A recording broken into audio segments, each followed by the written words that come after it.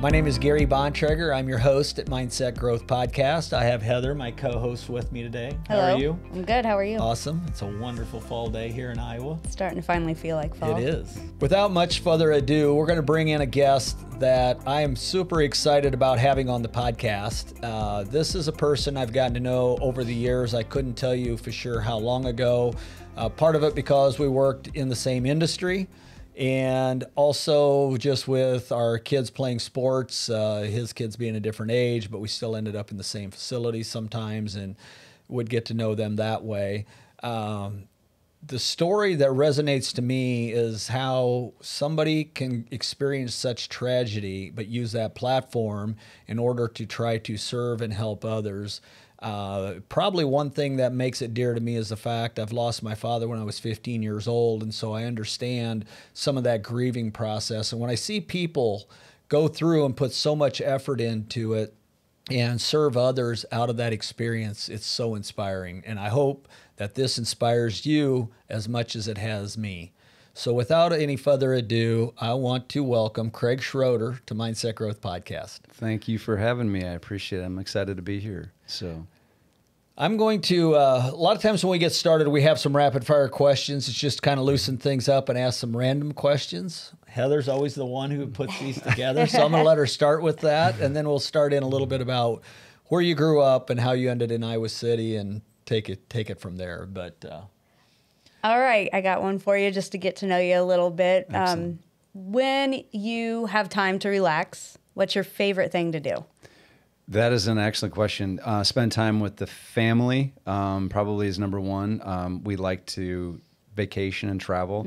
And to be honest, that's usually where I get to relax. Yeah. Um, in town, I don't get to relax very often. And that's usually because I'm signing up to do something and uh, and away from any five minutes of free time that I have. So when we get out of town, and, and that's usually my favorite thing is to sit back. Otherwise, I love watching uh, um, baseball. So Baseball. baseball, softball, um, in person on TV. Those are things that uh, um, you know, or maybe some movies with the wife. So Yeah.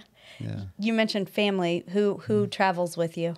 So as much as we like to, we like to travel with our immediate family. So uh, my wife uh, Stacy, um, which I nicknamed Foxy, by the way, um, and uh, our, our other uh, kids, uh, um, Cody, uh, nicknamed Seabone, and Haley, nicknamed Kiki. Um, so uh, that's the family that we have, and and uh, um, and we do it like to travel with some of our other extended family, and then we are ones that we have a lot of family, um, and so there's a lot of really, really close friends that have been friends for a long time that that had kids that grew up with us and our our kids and and uh, um, Austin as well um, with Flash. So- Right. Wonderful. I uh, I think that's going to be the theme that I, when I think of you, I think of you as a family man, connected, well-rounded. Your family seems very spends a lot of time together. So, do you have another one? Yeah, I do. And this I kind of um, picked because I know superheroes were, were big uh, for Austin, I believe. Yeah. So, what would be your favorite superhero? Of course, it would be Flash. yeah. and that's that's that's kind of a no-brainer. Before um, you know, Austin ever got the nickname, before Austin ever got sick or anything like that, you know, I grew up loving like Superman. Right. You know, why would you not? Right? You know, it, it's like one of the most powerful and the most dynamic and probably the most you know, I guess you know, diverse type of a superhero that has all of these different powers. And then of course you just get to wear like, you know, basically America colors in a way, right? With the red and blue. Right. And, Yep. and uh, that was always kind of mine probably growing up was was Superman. So Awesome. So to dive into it a little bit, uh, you're not a local resident, Iowa City. So tell us a little bit about where you come from and what brought you to this point. Uh, audience often likes to know. Get a little background from where you're from. Yeah, um, I was born and raised in Postville, Iowa, a small town in northeast Iowa, Yes. uh, by Decorah, by Luther College. If if some of the listeners might know where that might be, then um, Postville, very small town, about a thousand people growing up, um, and uh, and you know, in that town, you were either Lutheran, Catholic, or Presbyterian, and that's really what it was. Um, my dad uh, sold cars for about 18 years at John Fobb Motors. And then uh, one day, when ownership probably wasn't going to be in in that like his future, he walked across the street and uh, to my grandpa's insurance agency, um, Schroeder Insurance, and uh, said, "Okay, Dad, um, what can I do to uh, buy you out?" And so my dad became second generation um, of that insurance agency. Um, I grew up with two older brothers. Um, uh, Larry, who is seven years older than me, and Mark, who is five years older than me.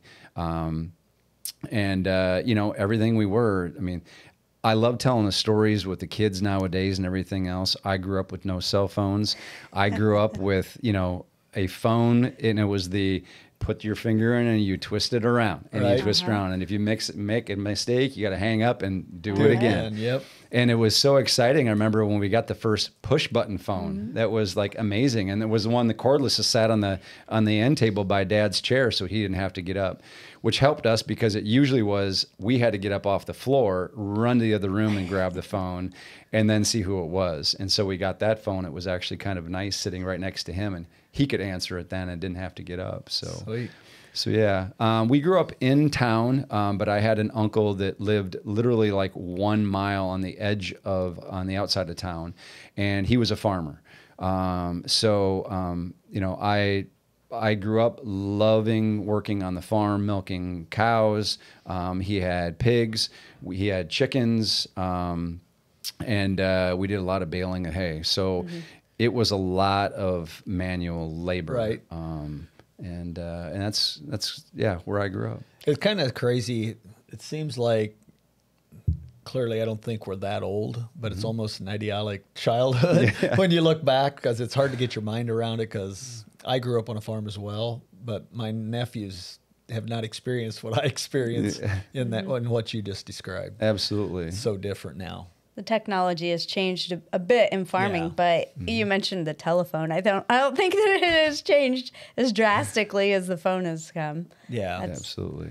So, anyway, the uh, I what brought you to Iowa City School then, and you Yes. stayed? So, um, you know, a little bit about me. I uh, I was big into sports in a small town. You know, I played four um, at any one time, and I did switch um, uh, from track to golf during it because my basketball coach was a golf coach. But uh, um, uh, played a lot of sports. I remember uh, walking upstairs with my dad going, okay, I'm being recruited. It's my senior year. And so it's like, you know, what do I do? And so he's like, well, eh, I'm not going to go on any visits with you. If you're going to go, you're going to go. And, and so I went to a couple of smaller school visits and, and people, you know, would ask me about coming for football and, and basketball. Um, and uh, I really wasn't getting looks for any bigger school. Um, but again, you know, this was you were lucky to maybe be in the newspaper back then. There was no social media, no nothing, and no one could ever really really hear about you being up in Northeast Iowa. And I remember after I went on a couple of visits, I came to him. I said, "I don't know what to do," and he goes, "Well." You're never going to be good enough to play past college. So if I was you, I'm not paying for any school. I would go to Iowa. It's the cheapest, and I would go down there and get a job. And that's what you got to do. You got to figure out how to pay for school.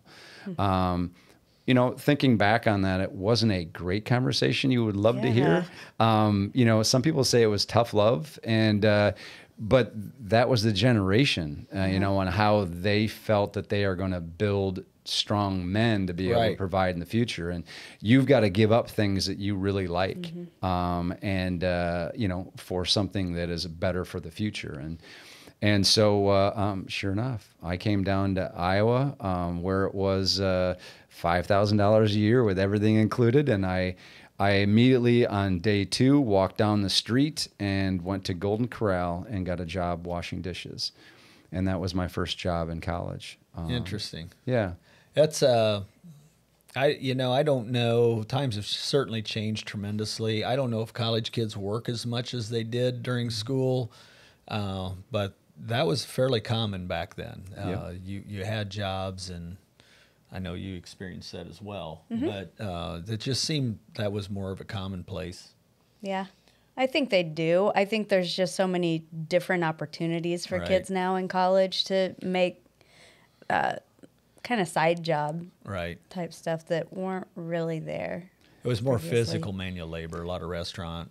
Absolutely. work, so. Absolutely. And I, I did so many different jobs throughout college, but, uh, um, you know, one thing that I, that, you know, for me as, as a parent with my kids, I always said is, you know, if you're in sports, you know, I'm, I'm not going to force you to work because number one, school is the most important and there's going to be a commitment to sports and everything else.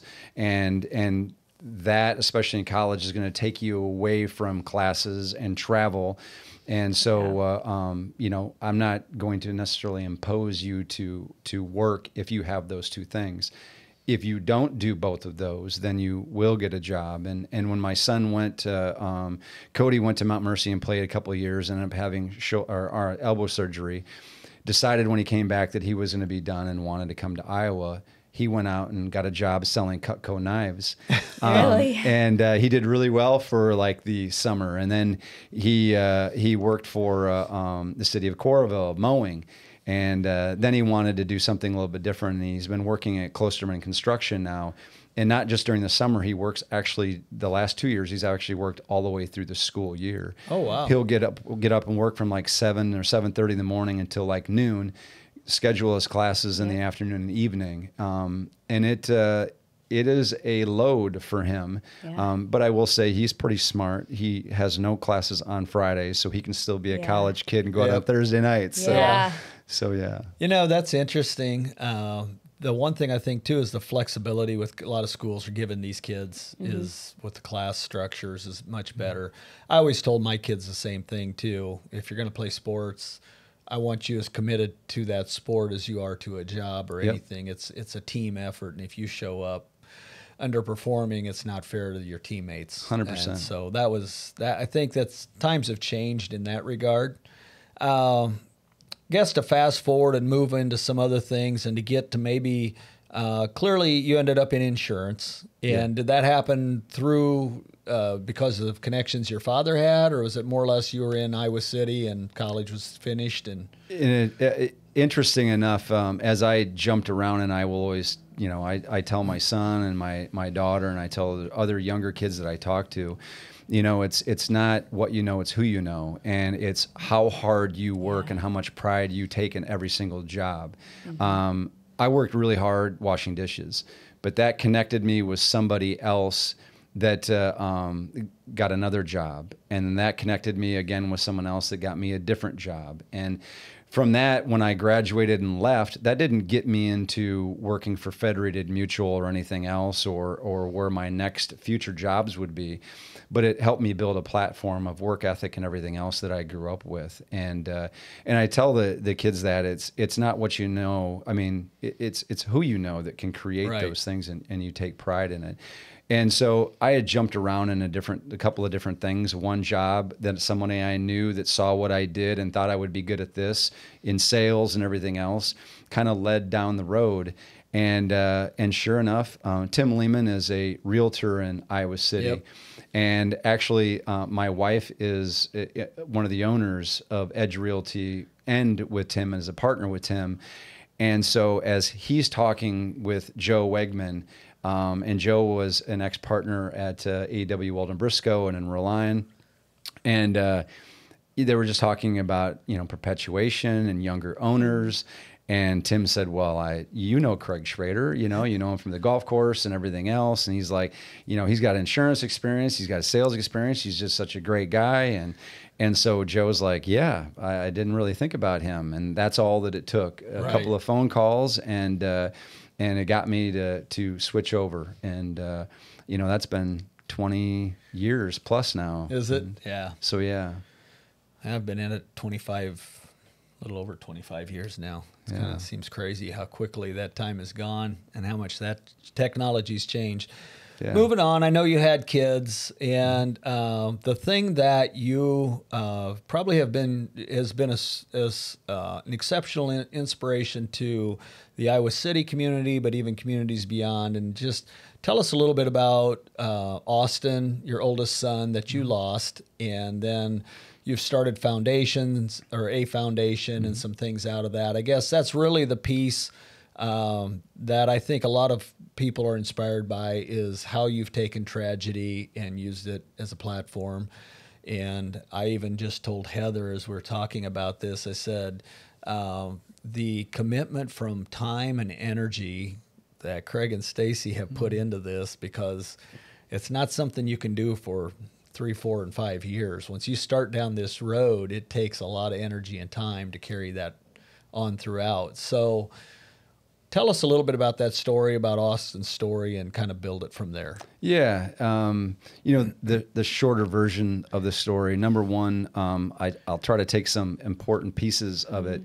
Number one, we talk about superhero. We talk about Flash. Um, sports was a big, huge part of what I was and what my kids all were, and especially Austin being, right. you know, that first son is going to run in my footsteps, and he's going to be a better athlete than me, right?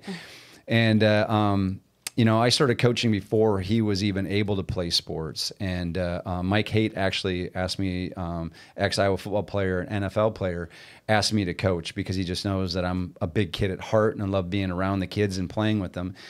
And uh, when Austin was uh, seven years old, we left the like the rec league and went and joined Trojan Baseball Club, and uh, that was more of a competitor competitive feeder program for West High School. And uh, um, it was an 8U team, and there was three younger kids that were seven. And uh, after every practice, we always like to finish something for fun. And what kids like to do. They love to have relay races, right? And so we're we're in a in a city park in North Liberty. There was no outfield fence, and so we split into two. The kids split into two teams. The first kid of each team had a baseball. They'd run out and touch an evergreen in someone's backyard. They'd come back and hand off the baseball to the next kid. We did that because young kids like to cheat and leave early on races, right? So this way they they couldn't leave early. They had to hand the baseball off because if they left early and dropped the ball, that team had to drop do 10 push-ups, which was a lot for 7 and 8 year olds, mm. and that pretty much means the race was over at that point in time. Um, so anyway, Dane uh, or Austin always liked to race Dane Randall, and Dane was an 8-year-old and he was the fastest kid at Van Allen.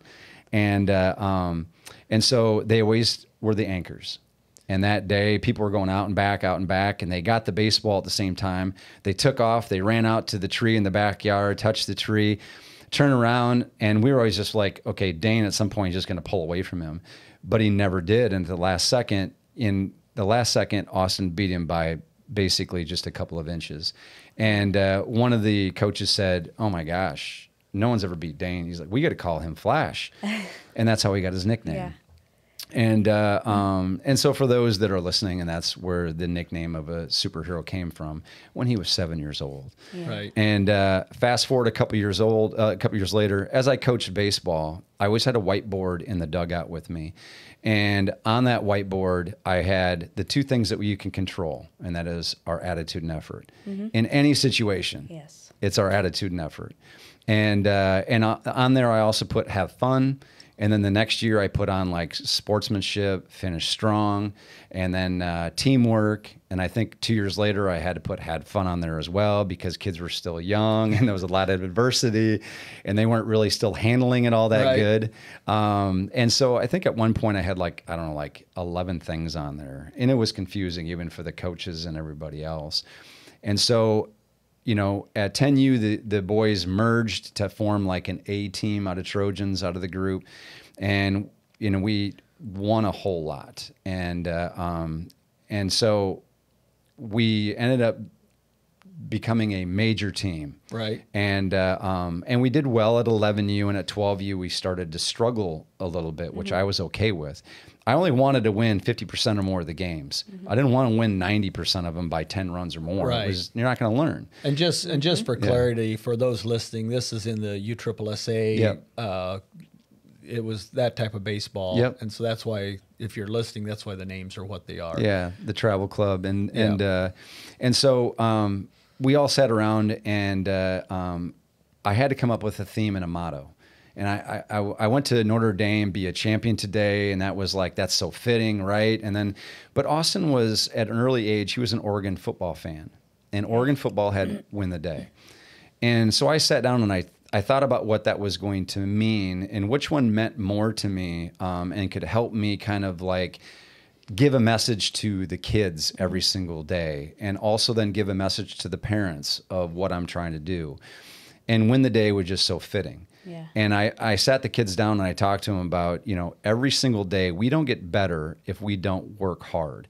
If you don't show up and give me your best attitude and your best effort, we're not going to get better. And we're not going to push each other if we don't do that. And in a game, we can't take plays off. We got to give our best attitude and our best effort. But not just in sports, but if you if you apply that in school, you know, if you do your homework assignments, if you study for every mm-hmm. quiz and every give your best effort, you're actually going to be able to continue to propel yourself in school.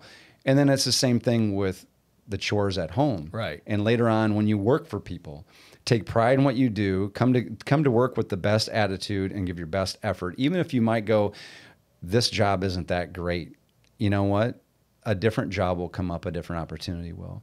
So win the day came from that. And win the day really had the whiteboard said win the day on it and it said number 1 attitude, number 2 effort, and number 3 was shake and bake. and that came right from Talladega Nights, Yes, Ricky yeah. Bobby.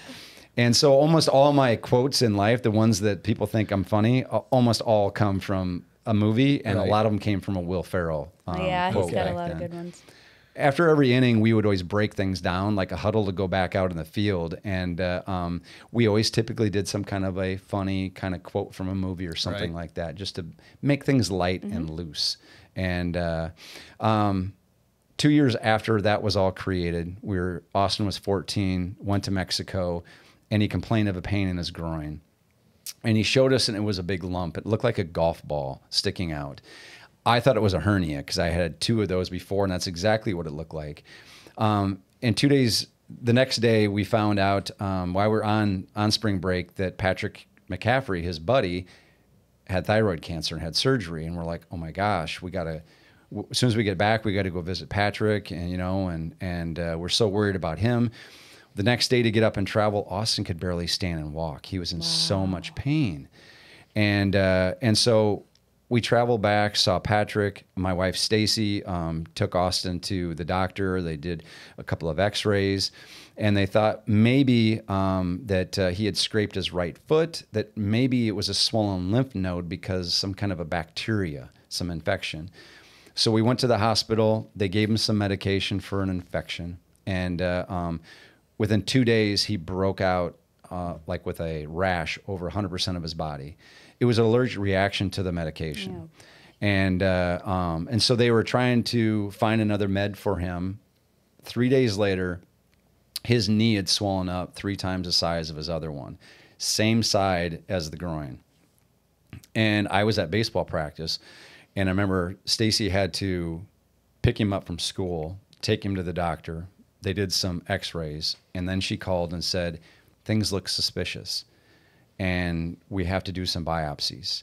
And they mentioned the C word, and she said the C word that way because Austin was in the vehicle, and uh, um, it always gets a little bit emotional parts of my story, and uh, um, especially when I saw you know my family, you know, and how they had to to to to deal with what we had to deal with. Because Austin is the oldest. How much younger are your other kids? They're all three years apart. okay. Austin, Austin and Cody were born on Friday the thirteenth, three Oh, years and one month apart. Oh my goodness. And then uh, and then uh, Haley was three years after that. Okay. Um, so this is impactful for them too. very younger impactful. siblings. Yeah, you're looking at 14, 11, and eight years Yeah. old at this point.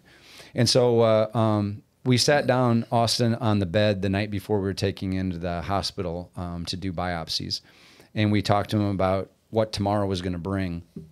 That they're going to put him under, and they're going to do some biopsies and everything else. And when he wakes up, um, if he wakes up and, and if he has a lump in his chest, unfortunately, that means they put a chemo port in and that he would have cancer.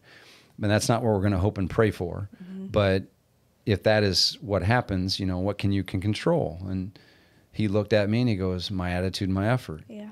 And uh, I mean, man, it's like all those years, all those years of coaching. It's like, you know, did was he listening? And not only was he listening, he actually got it. He completely understood it. And Austin was wise beyond his years. Um, and uh, and I always think that that is that's God's work that allowed him to be that way. Right. Um, And so we took him in the next day, and and the doctors took him away, and we just sat there and waited. And his best friend was in the room with us, waiting and waiting. And Dr. Miller come walking in, and man, you just you knew it wasn't good news. Right. You know to to hear, I'm sorry, your your son has cancer. Um, Yeah. No matter how much you prepare yourself for it, it's just it's like it hits you like a semi. Right. And uh, um, I remember my dad, you know, was my rock in my life, just broke down. Right. And uh, um, I'm like trying to hold him up, and he is sobbing, you know, uncontrollably. And it's just like, he goes, This is not fair. And it's like, I'm like, I had to become my dad's rock at that point in time right. to, to help him get through it. Um, the story itself for Austin is is the shorter version of his treatment. As we went in for standard um, therapy, uh, chemotherapy, and that was a 28 day cycle. And uh, after the 28 days, we went back in, um, and uh, and the doctor sat down and and said, uh, unfortunately, the chemo is not working. Uh, the cancer is still growing at a fast rate. In fact, it's not in the groin and the knee; it's in the stomach and the chest. Um, and uh, I guess I failed to tell you that uh, um, the diagnosis was T cell lymph- lymphoblastic lymphoma. It was a blood cancer. Okay. And uh, um, they, they initially thought it would be a sarcoma because of the knee. And uh, um, but the day that they told us it was the lymphoma blood cancer would be a 92% success rate. Um, if it was a sarcoma, they would have to amputate his leg, and he would have had about a 64% chance. So we actually felt blessed to to have the cancer Right. that he got Right. um, with a diagnosis um, and the prognosis, I should say. And so um, after the 30 days, they gave us the bad news. Um, immediately, they took the game, the game book, and they threw it in the garbage. And then we said, we are now going to have to start finding something.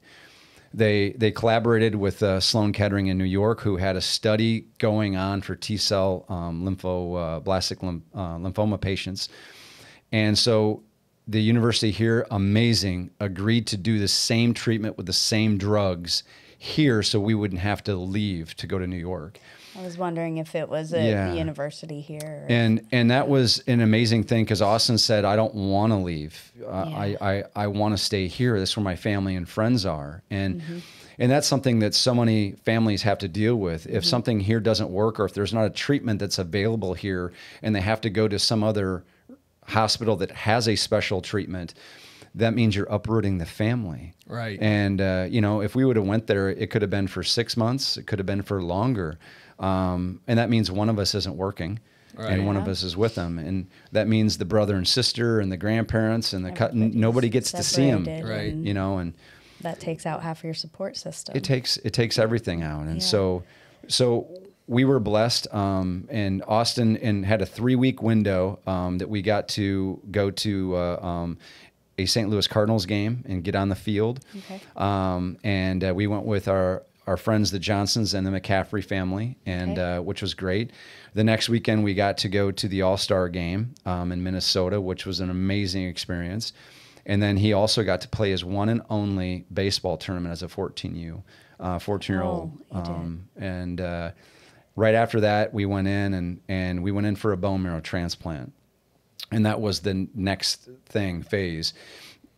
The, the, the chemo treatment that came from New York, it another 28 days, and it only worked for the first about two weeks, and then he had a bad reaction. Um, neurological, he, he couldn't speak, couldn't get words out, and so we had to stop that treatment immediately um, because they were afraid that it could be it could kill him. Right. Um, and just for the for I, I guess probably just to make sure that the listeners understand the treatments that we typically had back at that point where you can either cut something out by an operation. Unfortunately, lymphoma is a blood Right. cancer. There's no operation for it. So then it all comes down to chemotherapy and radiation.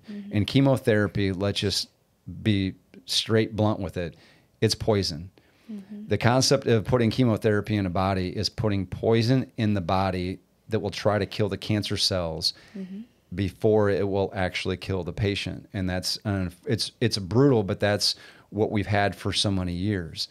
now they're they've been getting in the last uh, 10 years now they're getting into genotherapies and things like that immunotherapies that is more or less trying to get a drug to that's like a like an Advil or Tylenol or an aspirin that is something that's more healthier for your body that will go in and and trigger turn your cells that are turned off turn them back on Yeah.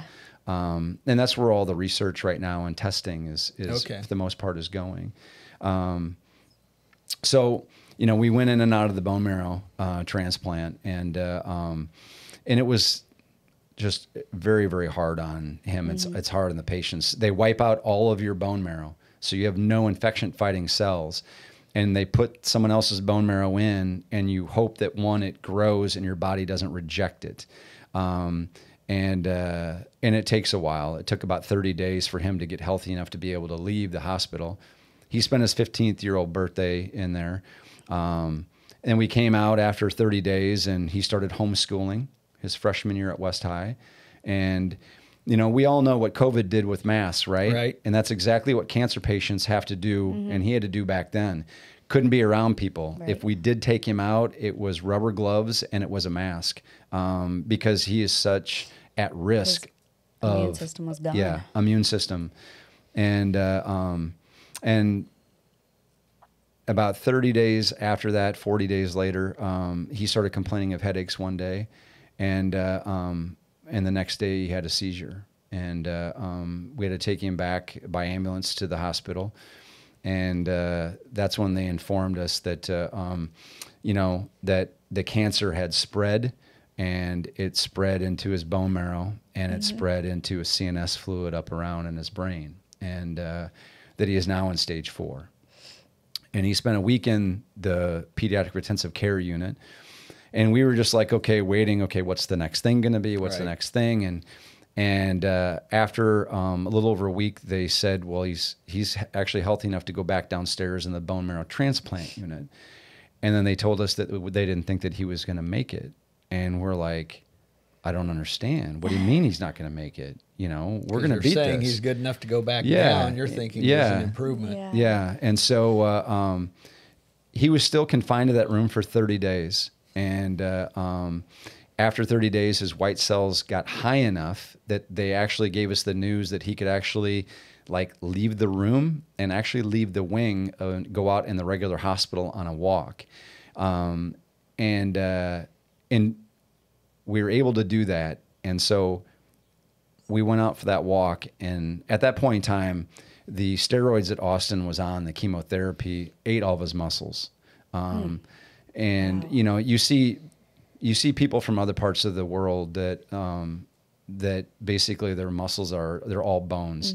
And their their bellies are still kind of bloated in their faces. yeah. um, and that's all the steroids and the chemotherapy. And, and so he was really, really weak. He had been confined for over 30 days to a bed. Um, and uh, so we sat down on a, on a bench in the hospital that day and we talked to him about win the day. And we just said that, you know, we know cancer is trying to take everything from you, it's trying to take your life. But just think of all the positives. You know, today you didn't throw up. Right. We're able to leave the room, leave the wing. You know, we're able to pray together. We're able to hug each other, and be able to we're able to say that we love each other today. And uh, um, and it's just a reminder that that no matter what we're going through, you know, we have a choice. We just have to choose to find one. And uh, um, and we got to tell Austin that he gets to decide what a win is every day. Cancer doesn't. And so win the day changed for us and for so many people um, that day, So as a parent, how it how going through this roller coaster of health issues, you know, he's getting better and no, now we've had this major setback and mm-hmm. and trying to be there for your child under the most horrible circumstances. How is it that you're able to focus in on basically win the day is had become your core Yeah. for athletics? How do you how do you focus back in on something like that and everybody can just kind of stick to it and say this is the plan? It, it kind of comes down to that, you know, as we move forward, like there were nights I didn't want to go to sleep with him. I, I slept in the the room right next to him on a cot, and uh, um, my wife did once in a while, but it was much easier for me to get ready in the mornings um, than it was for her. But there was nights I didn't want to go to sleep because I was fearful that I would wake up and he wouldn't. Um, so it reminded us that uh, we're in this, and it is the worst, worst place to be in.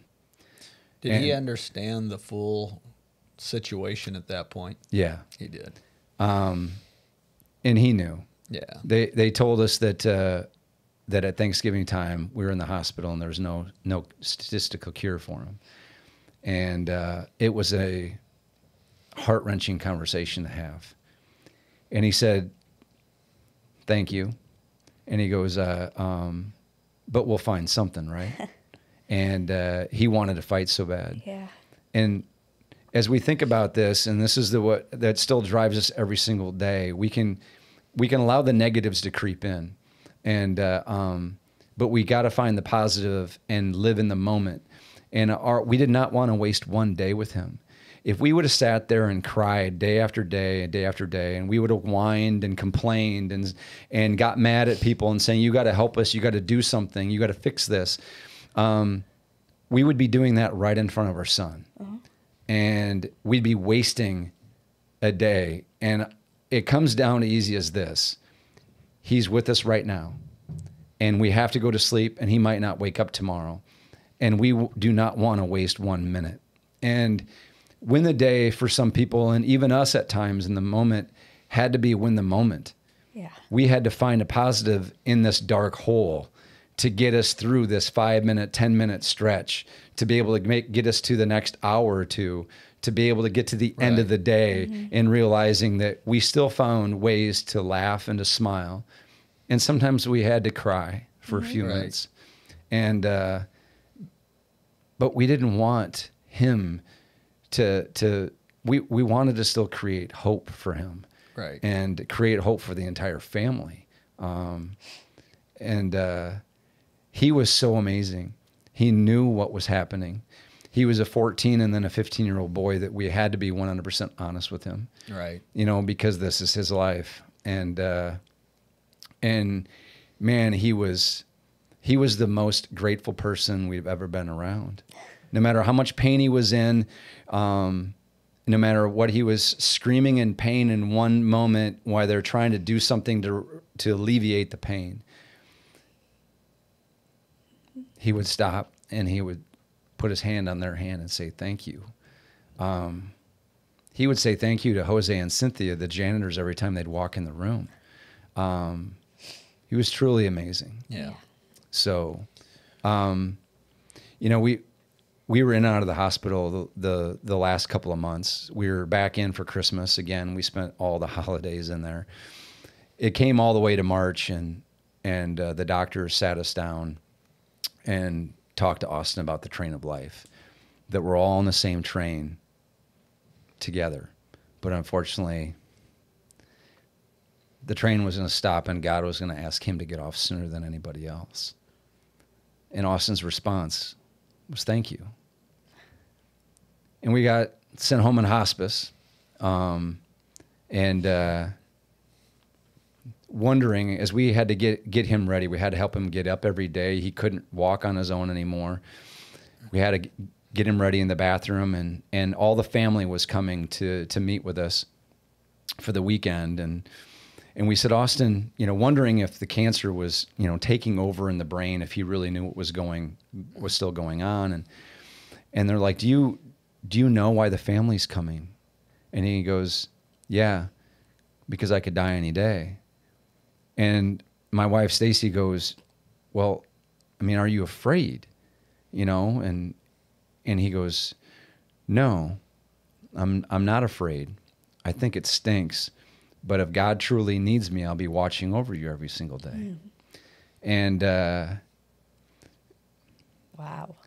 we had a a few a few weeks later, we were in, invited. Um, we were invited back to the children's hospital, and in one of the activities rooms, they had all of the con- some construction workers and the media. And so the Children's Hospital, the Stead family that we see today, that we get to wave during the football games, that was being built while Austin was treating right next to us. So he never treated in it.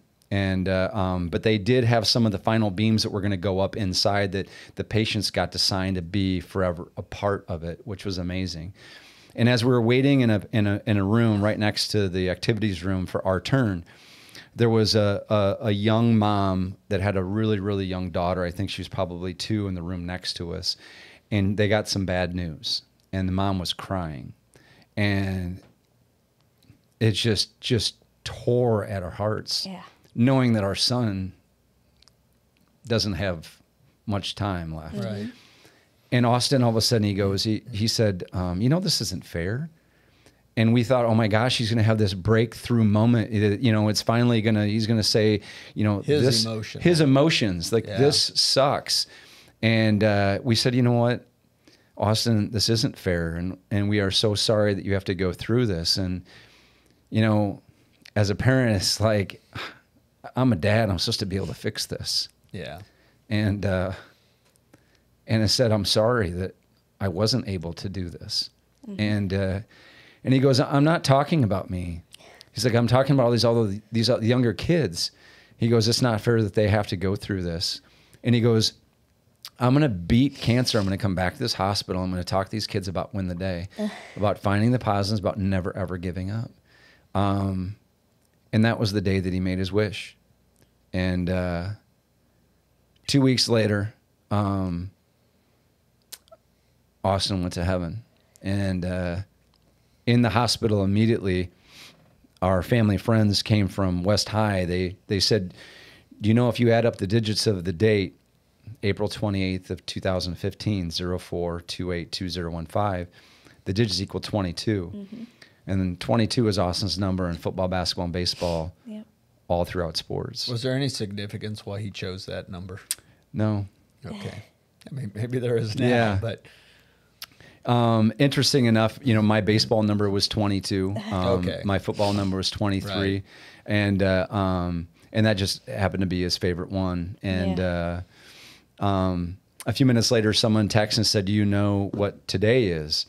Well, we Googled it, and April 28th is National Superhero Day. Oh boy. Pretty fitting for a boy Yeah. named Flash, right? Yeah. and uh, um, some other family friends they got to the hospital and they came in and they said you know you have to get out of bed and come and look out of the window and so we got out of bed with austin and and went to the window and looked up and there was a perfect halo cloud right above the children's hospital all signs that it was his Yeah. special day and he's going to be watching over us right. so Incredible. Unbelievable story. Yeah. I mean, all those instances on his his last day are just really amazing. yeah But but what truly stands out is his positive attitude and his perseverance and Yeah. almost, you know, looking over his family while he was there. It's just it's amazing.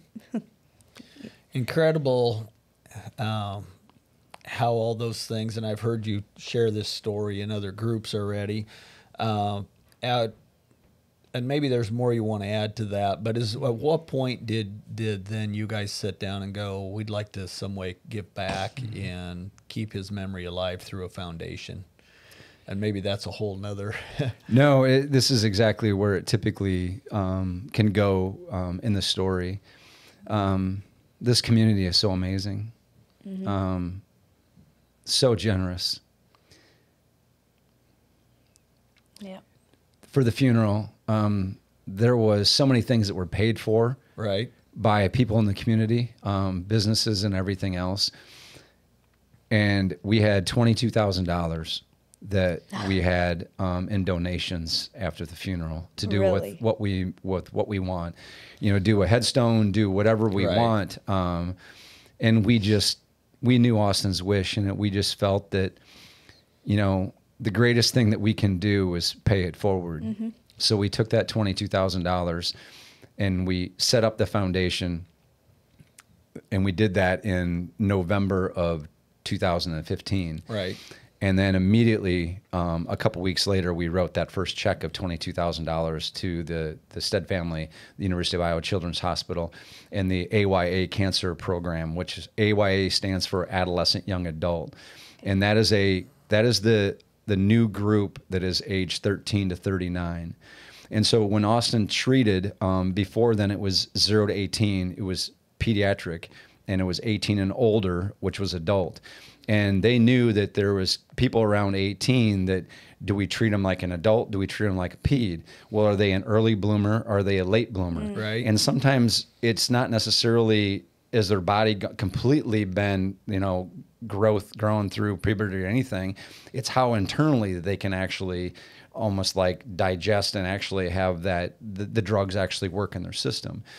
But they they realized that uh, um, that the same type of medicines were not working on this age group um, like they were with younger and with older. The problem with it is is that uh, um, that back then only 1% of government funding was going to pediatric um, cancer. So 99% of all government funding was going to adult. Wow. And so that there was zero for this age group. Um, thankfully for people like Dick Vitale, um, who we became friends with because of the McCaffreys, and his crusade of fighting for kids and kids with cancer, that number now is up to 3% and growing. Still such a small percentage amount. Um, and there really isn't any really government funding yet for this age group. Um, Really? And so it's been like our foundation and the McCaffreys have actually been supporting and driving um, the AYA group here, the cancer program here in Iowa City. That and with the help with the dance marathon, University of Iowa Right. Dance Marathon has Yeah, done some big donations to help get us to do some testing and everything else. Um, For for our listeners that aren't Mm-hmm. familiar with the McCaffreys, you want to give a quick recognition there. Oh my gosh, they, um, you know, everybody, you know, sees Fran in the limelight of coaching and everything else, and and uh, I will tell you that I was just about as uh, competitive as he. You see him back in the day, right, uh, growing up, um, and uh, but Fran lost both of his parents to cancer. And Patrick coming down with cancer, um, you know, at the same time as Flash, was amazing. Those boys had each other. Um, in fact, one point in time when when uh, um, Patrick had radioactive iodine put through his body, the family couldn't be within 20 feet of them. So he was in a in a bedroom down in the basement. Well, they asked if Austin could be with him because they want radiation would be actually was something that he had to do anyway, and it would be good. Wow. Um, it wouldn't hurt him. So they actually were able to play video games for weeks on end together. And Patrick always came to the hospital. Fran and Margaret, they the whole family, they they were one of the ones that we allowed to come in the hospital to come and, and visit quite a bit. Um, they have the biggest hearts. Their drive and passion to make a change in the fight for cancer is is really really amazing, and uh, um, they will do anything for anybody. Um, and uh, I, I wish everybody got to know them like we do. Um, just an amazing amazing family. So Well, Fran's, uh, uh, just so the audience knows, is the men's basketball coach or head coach for the Iowa Hawkeyes. Yes. So they came into the community, and uh, my first impressions of him is he's a very competitive person. Uh, and I think with what you've experienced, you've seen that. I Yep. mean, they fight for the right causes. absolutely, one hundred percent. Just letting people know that. But, Yeah. yeah, that was very unique that those two boys could spend that time together. Yes, yes, very very unique, and they, it was great that they had each other. So Yeah, that's great. So they've been a big drive for moving the the research forward, yep, and um, your your foundation. I've noticed the checks that you've given always Yeah. end in a twenty two yep. every year since what fifteen was that your first? Our our first one was 2015. Yeah. okay. Yeah. Um, to date, um, so far, um, we have raised um, and donated eight hundred and fifty thousand dollars Um, and I'm sure with all the 22s, I don't know what the end of the, the number is now. Um, but uh, yeah, eight hundred fifty thousand dollars to the program, and we we give gift cards um, to families at Christmas time, and a, Mm-hmm. a, a card from the foundation to let them know that they're not alone, um, and because we know what it's like to be in the hospital, um, you know, during the holidays, Right. And so today, um, as of right now, we have given given gift cards to 322 families um, so far in the last eight years um, of doing the foundation, nine years. Um, so uh, no, it's it's been amazing, and and you talk about us starting from 22,000 and then growing to 60,000, 22 to 100,000 for a couple of years. COVID hit, when, which was a hard thing. We were only able to raise 50 that year, but since then we were able to uh, um, raise about and donate about 150 for the last couple of years. And uh, fingers crossed, um, we just had our golf event last Friday. We and we netted 70,000 from that. Um, our baseball event is always in June.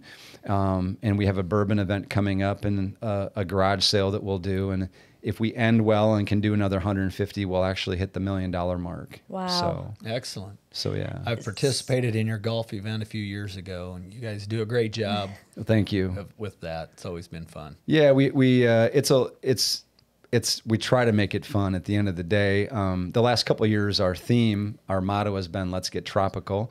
Um, for those that don't know, it's another Will Ferrell movie, semi-pro. Um, uh, Jackie Moon and the Flint, Michigan tropics. Right. Um, and that's kind of my my version for the adults to make sure that we have fun. So we have a lot of different fun games out there on holes to Right. allow people to move forward. But it also allows us to charge some money and, and make some Yep. extra money from them on the Yeah. course. I think everybody knows that, you know, that they're there to have a good time and to spend money. And that's what it's about. And and we at each of our events, um, baseball, um, we have some first pitch families that we have be a part of the baseball event. But uh, we also have uh, um, some some of the hospital staff and patients get to golf in the Oh, event, and we always have one or two of them speak along with the doctor and share their stories. But we do a marketing brochure that goes in all the golf carts with everybody's story, um, and then we actually um, usually have pictures and, and their stories put up as well. So people that can come there, we're we're there to celebrate them, the ones, some of them that you know are gone as well, but some of them that are still fighting through it, and some of them that that hopefully um, that are through it and maybe hopefully never have to deal with it again. So, do they get to be your uh, superheroes for the day? they get to be our superheroes for for the day. Um, and I tell you this this this last year, last Friday, um, Dr. Dickens really really hit home after Helena Hilliard was the patient that spoke, and she was amazing. Um, but Dr. Dickens said and he's like, "Does anybody remember how many patients I said that would be di- diagnosed in this this next year from last year to this year?" And nobody knew. Um, and he said, "Well, if you said 365, you'd be low. It's roughly about 400 new patients." And this he goes, is just in the University of Iowa. yeah, and this Oh is going to be just in the AYA group only, not just peds. Wow. And so if you look at it going, and he pointed and we looked right, at it goes, in that hospital today, someone is going to get diagnosed and get the news that they have cancer or their son or daughter has cancer. And it just hits home. You know, we're here to have fun Right. and and and to celebrate, but someone while we get to do Yeah. this is now up there getting that diagnosis and uh, um, which is just not fair. Right. Yeah. So Well, it's incredible what you guys have done. Uh, where do you see some of the future of what you want to accomplish? Is this, I mean, you're kind of on the path, or do you have some new things coming? Yeah, I mean, I, I we're, we're going to continue to promote and fight the a you know fight for the AYA group and continue to fund that. Um, you know, if there gets to be the point that it's it's fully funded without us anymore, um, then we will take all of the money and maybe consider doing um, something different with it. Um, so so when people understand like like um, phase one studies. You know what it all starts. It starts actually at the Murph Lab here at the University of Iowa, a, a testing building that they actually they do, and that typically will start fifty thousand to one hundred and fifty thousand dollars to pay someone to start doing testing, and so it takes time, effort, supplies, um, and expenses to do that. And if they find something that goes maybe to another level, then you're talking two hundred fifty to five hundred thousand dollars to a next level of testing. Then you're going from if if you're going to go to the next phase, it's probably more like one or two million dollars to be able to get something. Then, if it looks really promising, then it probably is going to be picked up by a pharmaceutical company at that point. But those are the kind of steps to be able to get it. And you can't just saying, "Here's X amount of money, do a do a study here because you need a doctor that would actually agree to do it. You need to set up all the protocols for it, mm-hmm. and then you need enough patients. And a lot of times there's not enough patients specifically for that cancer. So then they have to reach out and do collaboration with other hospitals around the country that will be willing to do that same testing, testing right? The same type of thing, and then give the the data and everything else over a time period. And when I say there's no basically um, for a patient, there's there's no benefit for it, is that you're given this dose for this amount. This person's giving a placebo, and uh, if this dose seems to might be working, and you're going, well, I want a different dose. You don't. You have to go through the the whole trial. phase, the trial yeah. as is. You're hoping maybe in in our sense if we would have qualified for something like that, that we were hoping that maybe that drug and that dose was the miracle thing for Austin right. or something like that. But at least knowing that what he is doing is could be helping someone in the future as well. So, so since uh, Austin's passing in the last eight to nine years, have you seen? Are there new, uh, like new medicines and treatments now that are finding themselves to be more effective? Absolutely. Um, if, some people might have heard of CAR T therapy, which is immunotherapy that is out there that work that they're they're working on specific types of cancer um, in certain patients. And hopefully, as it gr- goes, continues, that they'll actually start maybe trying it with a few other types of cancers as well and continue that on. And so that's the kind of the generation that I kind of said the direction that the, the, the testing is all going immunotherapy and genotherapy. Mm-hmm. Okay. And so that there's promising things out there. But what doctors will tell you is if you imagine having a hundred doors and you have to open up and on 90 door 91 it you open it up and it seems like okay we're going to take a step forward. Well now there's 200 doors in front of you mm. and now you have to keep opening up and going into those. And then you go into another one and you go keep, keep going to the point that now there is a door you can't open. And now it seems like you have to go back four more doors and slide over and try a new one to see if you have another direction another door you can go in. And it's just it's like a maze. And yeah. uh, um, it's it's it's a it's amazing to me that we haven't got there yet. Yes. But unfortunately, there's been so much money and funds that have been going towards chemotherapies to try to get people to remission versus trying to get them into remission in a better way that's non poisonous. Right. And also, then where does cancer come from? Right? What's causing it? Right. There's not much research information yeah. out there. I think so. I see a higher uh, I see more more of that information coming out, whether it be through food and different things, but it's not a big priority. No. And it doesn't seem like, uh, you know, and I understand body makeups and that, but when you see what's happening today and you go back, you know, 80 and 100 years, they weren't picking mm-hmm. it up the way the population does today. So there is a lot of mystery around that. Yeah. Mm-hmm. One of the things I will say for our foundation that we do, other than raise cancer awareness, raise money for cancer research here and the cancer program you know, and and give money to families. Um, and I would say that you know, giving them gift cards, but also in our events, being able to celebrate them and mm-hmm. and share their stories because a lot of them don't have platforms, and right. and uh, some of them don't want to have platforms when we go through it. But you know, we help with families and patients with diagnosis if if they want our help, if they want to reach out to a family that's been through it and so they can read through our CaringBridge posts all the way through and you know what did we do? What was the next thing? And when we got bad news what did we do next? And and they can reach out to us. Was there anything that you would suggest we would do differently or or somewhere else we can reach out to and go to? And mm-hmm. Especially if they know that we're connected with like Dick Vitale and the V Foundation, the American Cancer Society, and and it's like, do we have any other outlets for them? You know, and and we're happy to do that. We're happy to help them with, you know, do you want a social media? Um, and you know, do you want like a meal program and what are the ups and downs about doing that and uh, you know what wow. about money people want to donate money to so you know setting that up and but who's going to manage that because when you're in the fight with your your your kid your, your kids right you don't have time to try to manage and reply to everybody. So right. you want a family or a close friend that can manage all of that for mm-hmm. you. And we had that. Ann Johnson w- took over all of that for us, and it was amazing. And uh, um, and so one of the things though that that we do is we help families with a loss of a child, and it doesn't have to be cancer related. Mm-hmm. Um, you know, we've helped help families that have had you know auto accidents or right. or other accidents that uh, you know that, that, they've lost of kids. Um, we've helped people with mental health and lost a child to suicide.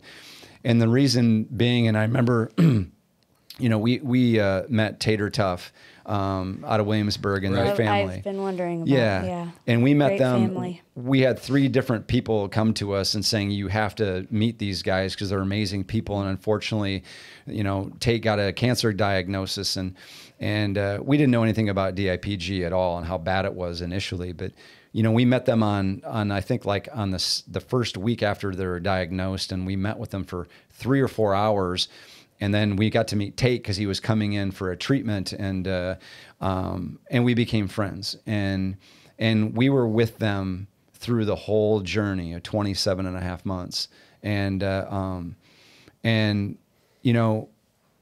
The night before he passed, we had reached out to Brad and Darcy and saying we know that the time is here, and it could be any any hour or any day, and most likely it's going to be within the next 24 hours and we asked if they would like us to be a be there for them and we knew all their friends were right next door right. not knowing what to do either so we came over and we were at tate's bedside with him got to hold his hand um, got to pray and uh, um, and got to be there for them right. and then we went next door and we were there for all of their friends and what they can expect next and then yeah. what they should be doing for um, the Schaefer family right. next and how to move forward the next month, six months, the next year and, and things mm-hmm. like that. And, and I remember, uh, um, you know, our, our daughter said just like, you know, why, why dad? Right. And it's like,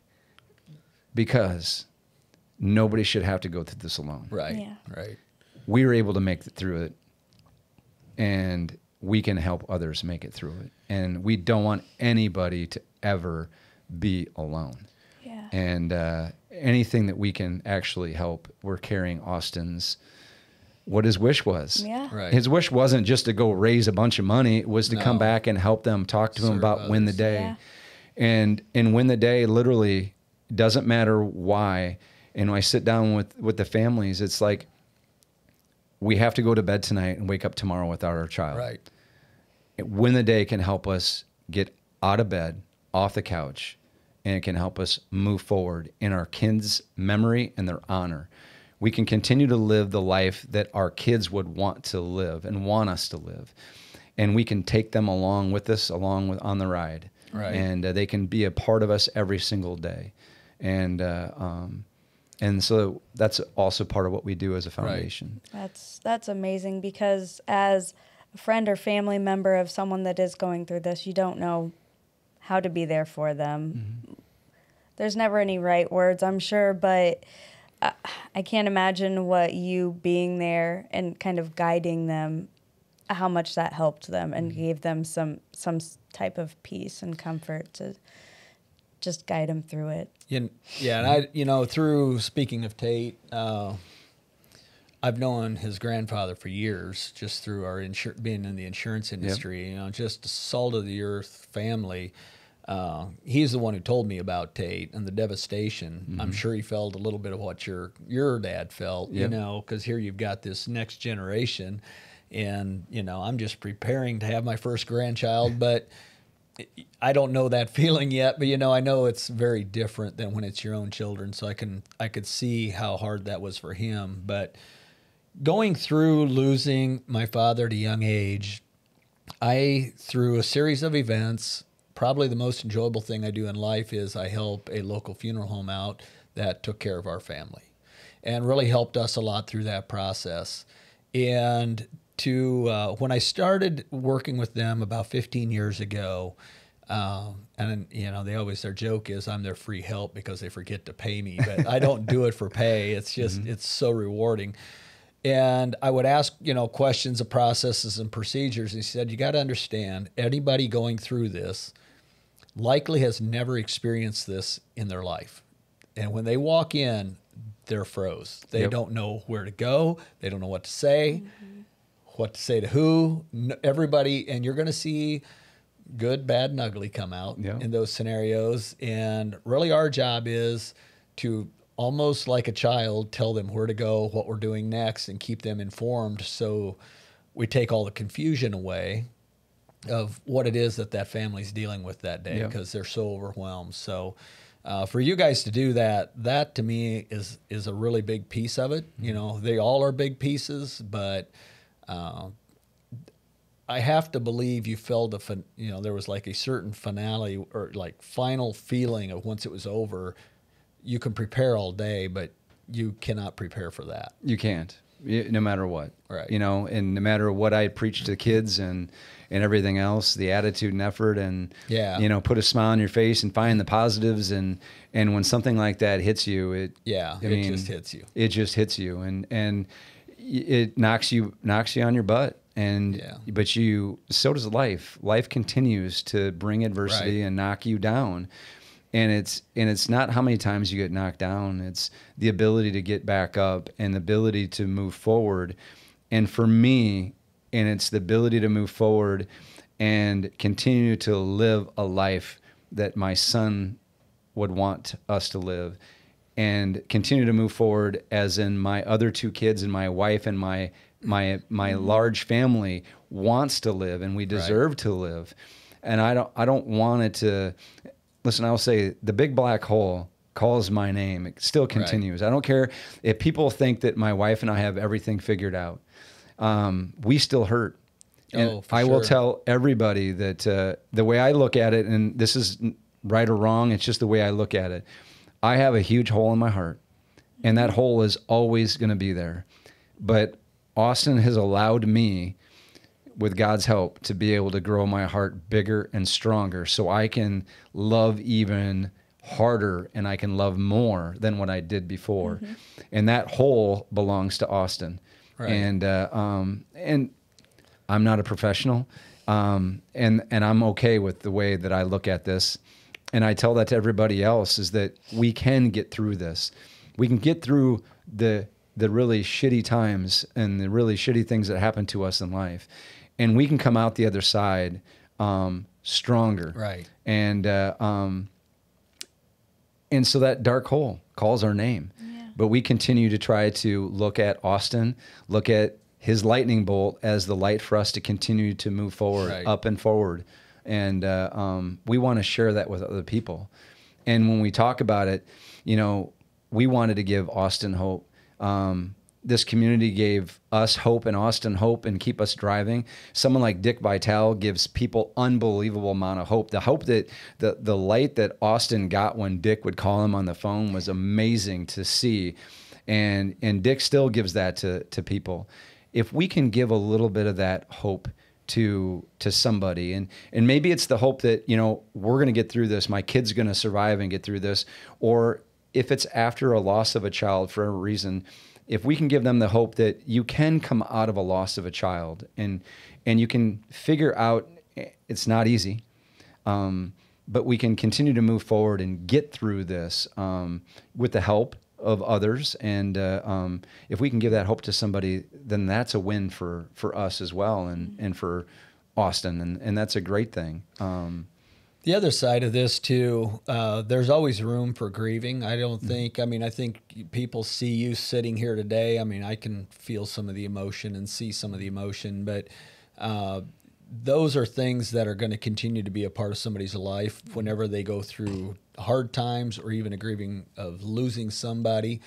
And it's a healthy, healthy thing to experience. It's probably something wrong if we don't. Yeah. Uh, I think what you see, what what people see from you and Stacy is a lot the you know the strength as well of overcoming. But I'd have to believe there have to be times you got to grab each other and and something hits you. I mean, mm-hmm. It I does. You know, I felt it was interesting to me when you know years later something would trigger you know a memory of my father over you know when I was young I was just angry Yeah. and then when you're you know have kids and things you're like oh my gosh different events trigger. Different So- events, and you and know, that'll keep happening for everyone. Forever. Grieving is is is going to and that's the one thing i want to tell everybody is that if you're not grieving your entire life to some extent at different times then then i think that you're probably have buried it. Yeah. to me grief and again i'm not a professional here but grief is because of love. Right. Uh -huh. i still love my son. Right. And I still want him to be a part of my life as in if he was still living. And so naturally, there's going to be a song, there's going to be a moment, and uh, there's going to be someone that's going to come up to me and and saying that, oh my gosh, you know, you know, I remember your son, and uh, win the day has helped me, you know, and during a struggle of my life, and uh, or having a cancer diagnosis of a young child in a family. Um, interesting enough, as as as I got ordained and did a wedding, at that wedding, I met the a friend of the bride, and and she was knew our story, and she's like, I love Win the Day. I use it, you know, teaching and other kids and stuff like that. And two years later, their three two year old son is diagnosed with cancer, and they use Win the Day every single post.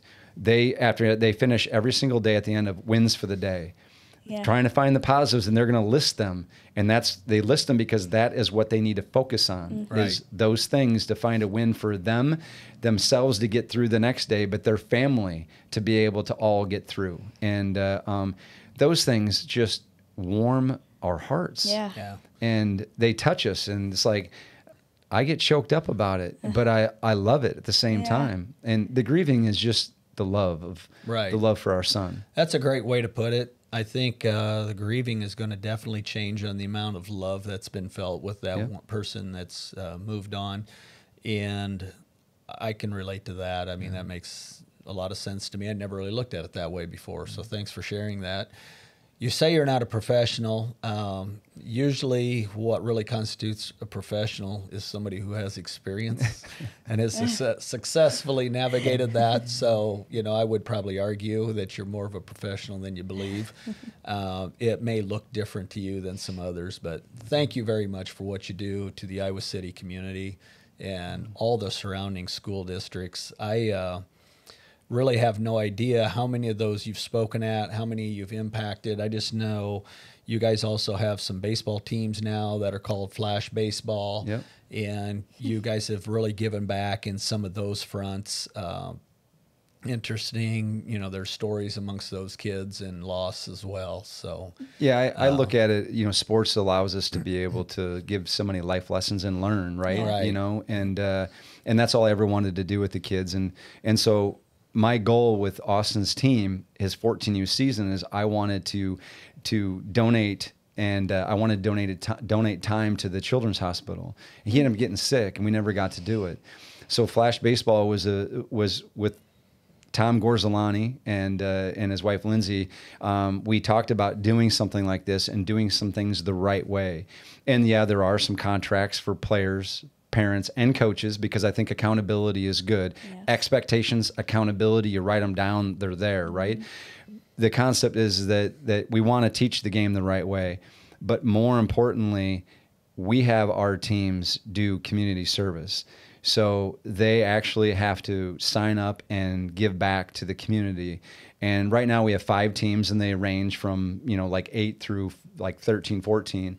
Um, and, uh, and so that is one of the greatest gifts that we can try to teach young kids the importance of giving back. And uh, um, with all technology, with all the phones, their heads down, and laptops or, or iPads, everything else, we can get them uh, to teach. Um, teach them the, the game the right way to compete the right way, um, but we can also teach them the importance of giving back in the community, which, which, which I absolutely just love. So, so Well, we really appreciate it. We appreciate you coming in. Uh, really, you know, want to thank you for the effort you've put in and how uh, vulnerable you and Stacy have been to share your story. It's um, life can be hard, and it often really is, regardless of when we look around and look at people's status and what have you. It's still hard. Uh, and I think just being so open with what you've done has given a lot of hope. So we thank you for joining us on Mindset Growth Podcast. I thank you for taking the time out of your day to come do this. Uh, and I'm sure it's going to inspire others that listen to this. So we we uh, would like for you though to share where people could find you, and if they want to donate to the foundation, what do they need to do? Yeah, I mean, uh, well, this is great. I didn't think we are even going to get a plug for the foundation for donations, but um, we will always take someone's money. Um, you can go to uh, fightwithflash.org, which is our Facebook, our, our website to be able to donate. Um, there are links if you go to Fight with Flash on Facebook um, or Instagram. We have ways to be able to connect to be able to still donate that way as well. So, um, uh, yeah, if anybody, you know, there's so many great organizations and foundations and charities Right. out there, and there's more and more all the time because unfortunately there's more and more adversity that Right. causes people like Yeah. us to create something. Um, but uh, you know, if anybody wants to consider the Fight with Flash organization, uh, you know, we obviously, you know, are heartfelt from it and very, very thankful and gracious for any any, any donation. Absolutely. Well, thank you. Thank you for joining us on this episode of Mindset Growth Podcast. We hope that you really enjoyed our visit with Craig and listening to his story and the triumph over tragedy and how they support others going through tragic situations just like theirs.